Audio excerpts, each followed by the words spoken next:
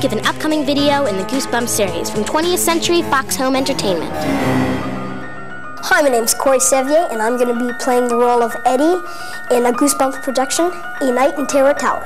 And I'm just here to take you behind the scenes. Come on. And action. The show we're making is based on the book by R.L. Stine, A Night in Terror Tower. And what it's about is basically just me and my sister are going to London for a vacation. And when we get to this place with all the other tour people, slowly but surely, weird things start to happen. We're working very hard in this story today to give a wonderful visual look. It will be interesting to watch because we have a marvelous castle, we have medieval soldiers. Well, this is the torture chamber. They used to bring people up here, and what can I say? They used to torture them. Tortured? Did he say tortured?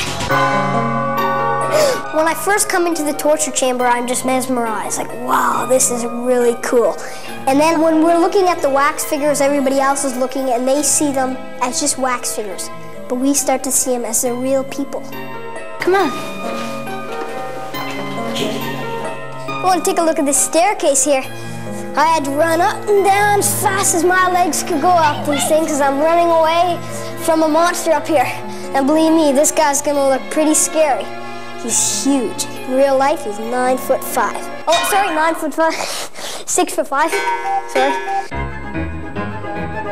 It's really fun to work with Katie because I'm I have a little brother and he's younger and I get to play the younger brother for a change. Just throughout the story, I'm sort of leaning on her because I when we get scared, she's more of the the strong one because she's the older one.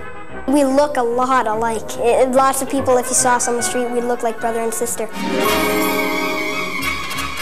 Well, I'll tell you one thing, you never do it in order. You do the last scene, you do the middle scene, and it's a lot of work. Roll them, please. And action.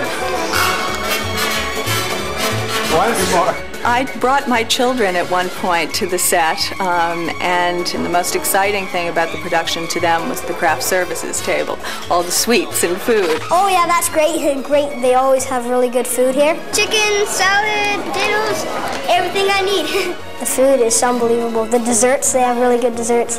My mom likes the desserts.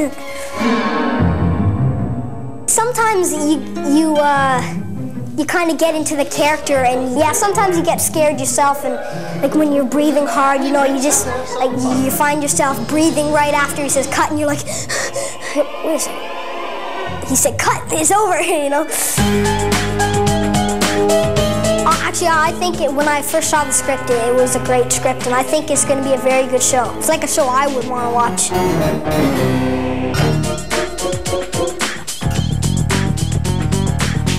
Well, that's it for our look behind the scenes at A Night in Terror Tower. Hope you like the show. See you later. Bye.